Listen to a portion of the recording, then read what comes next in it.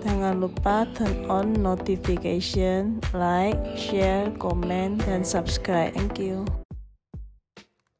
500 gram tepung komachi atau cakra kembar emas roti oriental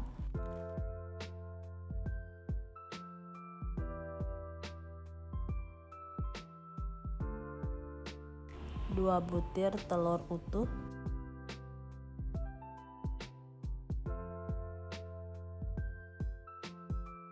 24 gram whipping cream bisa diganti dengan susu cair ya kalau nggak ada. 240 ml susu cair coklat. 60 gram gula pasir. 4 gram garam. 60 gram butter. Saya pakai merek Golden Chan. Dan saya pakai bread maker Ozone OX 1200 nm pakai metode nomor 8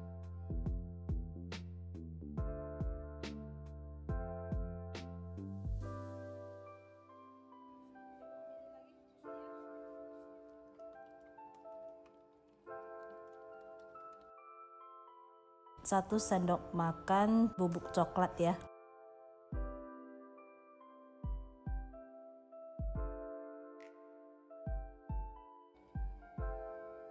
Setelah diadon 10 menit kita masukkan ragi 12 gram ragi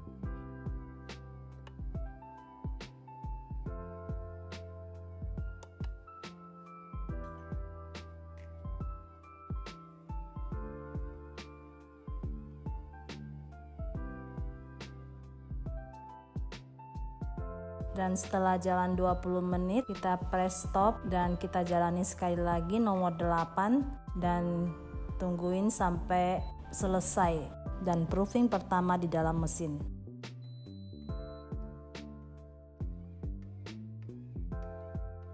Ini setelah proofing selesai kita keluarkan kan kita akan bagi dan kita akan isi fillingnya kita keluarin gasnya dulu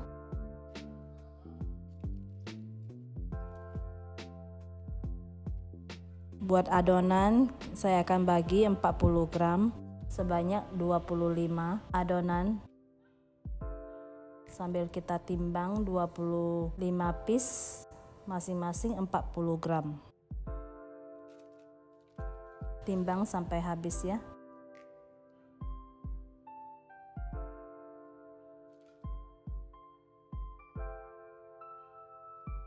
Dan buat isian saya memakai coklat dark coklat color baut 54,5% setiap adonan saya masukin 10 gram. Tapi menurut saya agak kurang ya isiannya. Kita bisa tambah 12 atau 14 gram. Dan kita buletin langsung. Kita alasin dulu loyang ukuran 25 kali 25 atau 26 kali 26 cm Kemudian kita akan susun berbaris penuh 25 piece dalam satu loyang.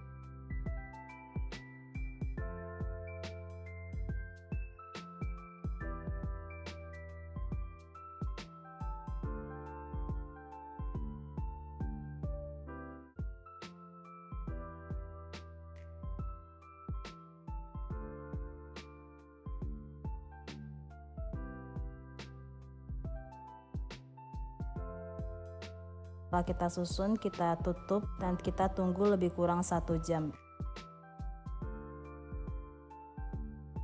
Ini sudah proofing. Jangan lupa kita panaskan oven dulu 200 derajat, api atas bawah selama 15 menit.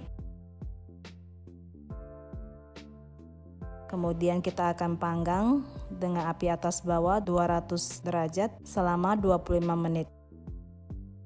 Ini hasilnya sudah selesai, saya tinggal kuasin hanya dengan margarin aja di atasnya. Maaf, videonya hanya setengah, enggak kelihatan karena kameranya tidak saya style untuk fokus ke bagian roti ya.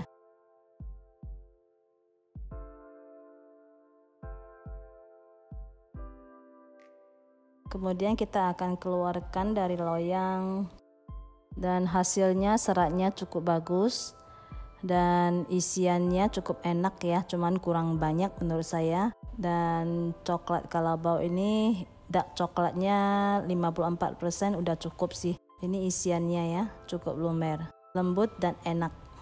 Selamat mencoba. Makasih sudah melihat videonya. Kita tunggu dengan video berikutnya. Jangan lupa like, comment, subscribe, and share. Terima kasih. Bye.